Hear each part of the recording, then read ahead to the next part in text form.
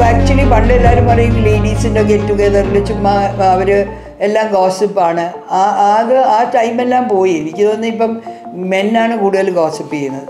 ഞാൻ നമ്മളിപ്പോൾ ലേഡീസൊക്കെ മീറ്റ് ചെയ്യുമ്പോൾ ഞങ്ങൾ എന്തോരം ഇപ്പം മാർക്കറ്റിനെ കുറിച്ച് ഡിസ്കസ് ചെയ്യും.